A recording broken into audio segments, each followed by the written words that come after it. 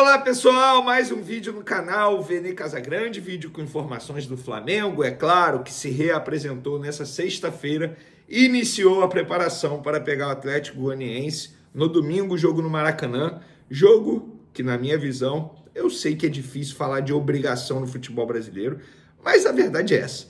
O Flamengo tem a obrigação de vencer o Atlético Goianiense no domingo, Atlético Goianiense que hoje é o lanterna do Campeonato Brasileiro. Tem um treinador que, na minha visão, é fraco atualmente, o técnico Wagner Mancini, e o Flamengo tem praticamente o elenco inteiro à sua disposição. Inclusive, vamos trazer atualizações do Bruno Henrique, jogador que está entregue ao departamento médico. Será que tem chance de jogar no domingo?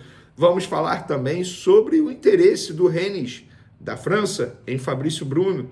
Ouvimos duas pessoas da diretoria do Flamengo e vamos trazer aqui para vocês o que eles falaram, o que eles comentaram em relação a esse possível interesse do clube francês no zagueiro Fabrício Bruno. E também tem dois assuntos que está dando o que falar lá nos bastidores da Gávea, inclusive assuntos esses que estão sendo levados ali para o xadrez da eleição. É isso mesmo. É, são dois assuntos que estão rachando a Gávea. A verdade é essa. Isso tudo e muito mais no vídeo de agora. Mas antes, pessoal, gostaria de falar da KTO. Lá na KTO tem várias odds boas demais, Olimpíadas rolando. A verdade é essa. Inclusive, que vexame a abertura das Olimpíadas lá na França. Achei péssimo. Quero a opinião de vocês. Mas lá na KTO você vai encontrar as melhores odds. Tem Campeonato Brasileiro esse final de semana com vários jogos bons. Inclusive, Flamengo Atlético Goianiense é um bom jogo para você fazer aquela fezinha, aquela aposta. É só clicar no link ó, que está aí na descrição. Você vai direto para a página já com código promocional, que é o código VENE. E aí você nem vai ter o trabalho de digitar o cupom lá VENE. Você não tem esse trabalho. Aproveite. Onde você vai encontrar isso? As melhores odds, os melhores mercados. É só aqui na parceria KTO e o canal Vene Casagrande.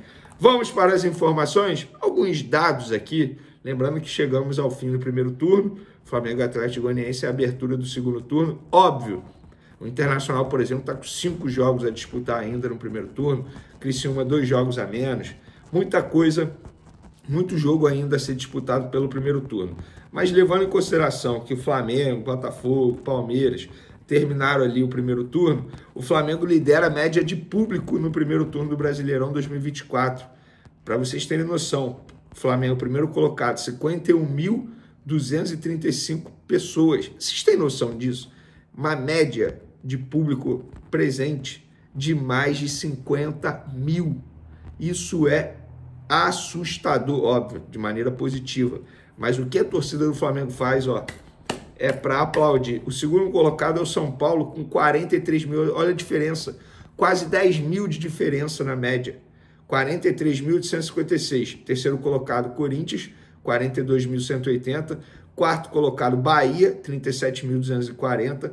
E o quinto colocado é o Palmeiras, 30.928. O que me surpreende é o Botafogo, mesmo líder atualmente, não está nem no top 5 de média de público no primeiro turno.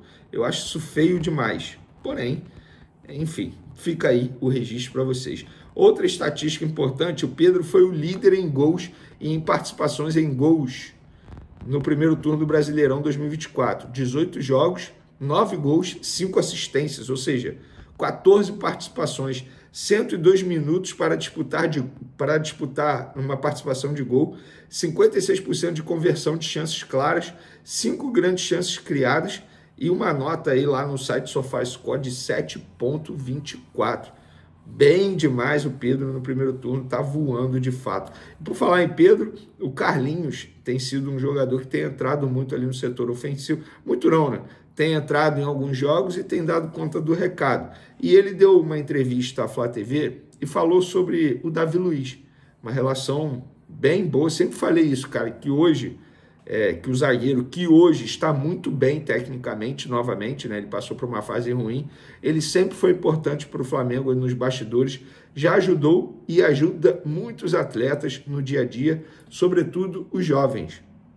E o Carlinhos falou o seguinte, cara, declaração maneira demais. Abre aspas. Um cara de Deus colocou no meu caminho para me ajudar. é um cara que é sem palavras.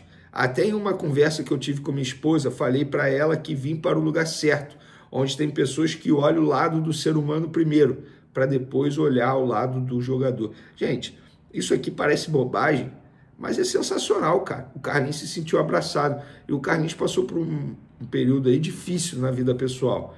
Perdeu a mãe, sabe, complicado, passou por uns problemas físicos também e agora está à disposição e tem ajudado sempre que possível. E por falar em atacante, vocês lembram daquele Tiaguinho que o Flamengo contratou lá em 2019, junto ao Náutico, status de promessa, custando mais de 7 milhões de reais por mês. Hoje ele está emprestado ao 13. E hoje, conversando com uma pessoa da diretoria do Flamengo, apurando até a situação do Fabrício Bruno, e essa pessoa me passou esse detalhe. Falou o seguinte, Vene, o Thiaguinho vem recebendo procura de clubes de mercados super alternativos, como o Dinamo Tbilisi da Geórgia e o Shador Malu Arkadan do Irã. Esses dois clubes procuraram tanto os empresários de jogador quanto o Flamengo. O Flamengo topa fazer negócio, tá? Em definitivo, inclusive sem receber compensação financeira, mas impõe exigências, que são elas: ficar com pelo menos 50% dos direitos econômicos do atacante de uma futura venda, e o vínculo do Thiaguinho com esse clube que ele for ser de pelo menos três anos. Por que isso? Porque é o tempo que o Flamengo entende que ele terá de maturação, ou seja, pelo menos três anos nesse clube para depois ele render algo e aí o Flamengo ter um lucro futuramente com a venda dele. O Flamengo fez esse modelo de negócio recentemente com Daniel Cabral. O volante foi cedido de graça ao Estrela Madura o Flamengo manteve 50% e um contrato de quatro anos entre Daniel Cabral e Estrela Madura. Então, o Flamengo tem, é, assim, gente, não é nada por acaso. São estudos, sabe, levantamentos que o Flamengo, a diretoria do Flamengo faz internamente para poder, entre aspas, definir esse tipo de situação. Então fica aí é, a informação para vocês. Agora, dois assuntos que estão dividindo a Gávea. Você já deve ter lido em algum lugar, escutado, que o Flamengo está negociando a compra de parte do Leixões, clube lá de Portugal. Um clube que está passando por dificuldades financeiras, inclusive na parte jurídica.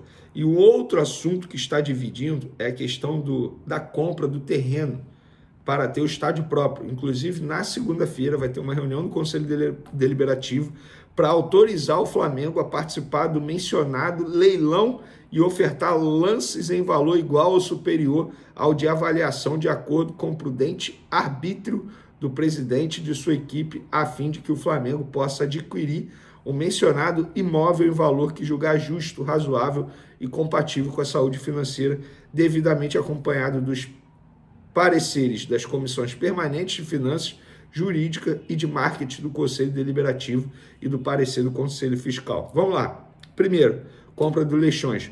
Como é que o Flamengo vai comprar um clube sendo que isso nem foi levado ainda em votação ao Conselho Deliberativo? Questionei pessoas do clube que, inclusive, pertencem a cargos importantes e eles me garantiram, Vini, até o momento não foi discutido nada. E é claro que sim, que precisa da autorização e de votação no Conselho Deliberativo. E nada foi discutido até agora com nenhum poder do clube. Leia-se Conselho de Administração, enfim. Da mesma forma que nada em relação ao estádio foi compartilhado com comissões do COD até ontem, quinta-feira. Porque eu estou gravando esse vídeo sexta-feira e amanhã pode ter algo já compartilhado com o COD, por exemplo. Não há estudo de viabilidade econômico. Olha isso. Não há estudo de viabilidade econômico-financeira. Ninguém está. A pessoa me falou o seguinte: ninguém é contra, mas todos querem ver um estudo de viabilidade que não foi apresentado até o momento pela gestão. Quem questiona é acusado de ser contra o estádio. Aí é um absurdo, gente. Você, você vai lá para votar. Se você não questionar, é o quê? Você vai lá apenas para, ok, beleza, sim, top. Não é assim. Você tem que entender o que você está votando. Não é simples, não é um assunto simples. Então fica aí o registro, porque esse assunto está dividindo a Gávea. Ah, ah, você, você é contra, então você é da oposição. Ano eleitoral, gente. Prepare-se, porque a gente vai ver muito assunto nesse sentido, nesse período eleitoral. Falando de campo e bola, Bruno Henrique está fora do jogo contra o Atlético Goianiense ele avançou, vou ler aqui o que a pessoa me falou, na íntegra. Ó, vamos lá. Vamos lá, vamos lá, vamos lá. Evoluiu sim em relação ao Bruno Henrique. Ainda está no trabalho com, com os fisioterapeutas, mas foi para o campo. Já é uma evolução. O próximo passo é ir para a transição física. Então está fora do jogo contra o Atlético Goianiense. A, o departamento médico, os fisioterapeutas tentam deixá-lo à disposição para quarta-feira, quando o Flamengo enfrenta o Palmeiras no jogo de ida da Copa do Brasil. Para mim seria um baita reforço caseiro. Lembrando que é só o Bruno Henrique que está entregue ao DM, aos fisioterapeutas. Os demais jogadores estão à disposição do técnico Tite. Fabrício Bruno, galera. Ontem a gente trouxe aqui no vídeo que o Fabrício Romano, jornalista italiano, noticiou que o Rennes tem interesse no Fabrício Bruno. Lá no Flamengo me disseram o seguinte: os empresários nos avisaram que o Rennes já fez uma proposta e tem interesse no jogador, fez uma proposta para o jogador e agora o Flamengo aguarda a proposta chegar lá no clube. Para tirar o Fabrício Bruno do Flamengo, vou, ler, vou falar exatamente o que essas duas pessoas me falaram. Não será fácil. O clube terá que fazer muito esforço financeiro para tirar o Fabrício Bruno da gente. Nós havíamos aceitado a proposta do West Ham, porque era uma proposta que a gente entendia que era muito boa para a gente. Se não for uma proposta nesse nível, vai ser difícil tirá-lo daqui. É isso. Então o Rennes, de fato, tem interesse, já fez proposta ao jogador, segundo foi passado à diretoria do Flamengo, pelos empresários do atleta, e agora vai ter essa negociação aí com o Flamengo. Se vai dar certo ou não, só o tempo dirá, e nós aqui do canal Vene Casagrande, no caso, eu, estaremos acompanhando de perto para poder noticiar para vocês passo a passo dessa possível novela, como é a novela do Claudinho, que nesse momento está no Vale a Pena Ver de Novo, porque não tem nenhuma novidade. Valeu, galera! Um beijo para vocês, forte abraço, curta o final de semana com moderação. Valeu, fui!